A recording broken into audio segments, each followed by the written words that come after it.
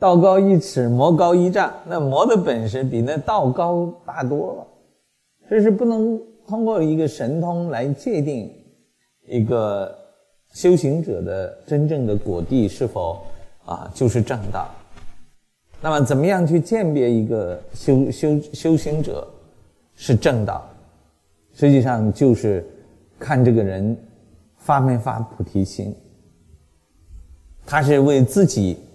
的名闻利养，展现神通，还是为了普度众生，而自然的拥有了神通，啊，所以这个是一个很大的区别。这是正道跟歪门邪道、旁门左道、魔道的一个差别点，就在这个地方，啊，说是我们去啊验证一个老师，啊或者一个团体或者是一个组织，他们是否。啊，在传正道，那就看菩提心是否真的发起了。啊，这个发菩提心啊，这个有这个愿菩提心，啊，行菩提心，啊，是不是啊？不是光有愿就行，他还要真正的能把菩提心行出来。那么行菩提心里面啊，到上面是圣意菩提心，它要有空性，空性它就是没有我。没有，我不是没有这个人，而是连他所在的机构都没有我，啊，不能说我不为我个人，我为这个团体，我为这个寺院，我为这个组织，那这个也不行，那这个还是有我，啊，只是把一个小的私我变成了一个大的私我，啊，说很多的机构呢，呃，他很在乎他自己的这个机构怎么样，那实际上这个就违背了。这个圣意菩提心，也就是说，这个机构它是没有菩提心的。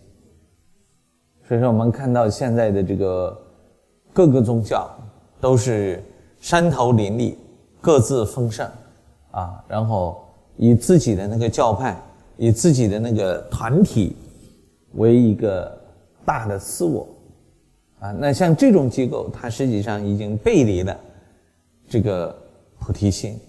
就背离了圣意菩提心，啊，所以说我们到底怎么去检验谁还在传正法？就是用这个，啊，你比方说是台湾有一个很大的机构，啊，他这个拿着全天下的这个信众的钱，啊，再去做布施，别人都把功劳当成变成他这个群体的功劳，实际上忘了那个钱，他是一分钱他自己没有了，他是用的信众的钱在。做善事儿的，啊！但是他在做善事的时候，你去申请赞助的时候，首先你必须是曾经捐款给他的人，啊，你就是你曾经他的花名册里有你的名字，你捐过款给他的，他才能帮助你，啊！那这个就出了一个什么问题呢？这个就是菩提心何在？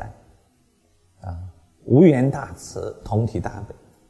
啊，所有的众生，即便他不是人，你都要帮。哎，那不是人，那动物怎么捐钱给你啊？你难道是说动物也来查查化名册？你没帮我，所以是你来申请救助，我不能帮你。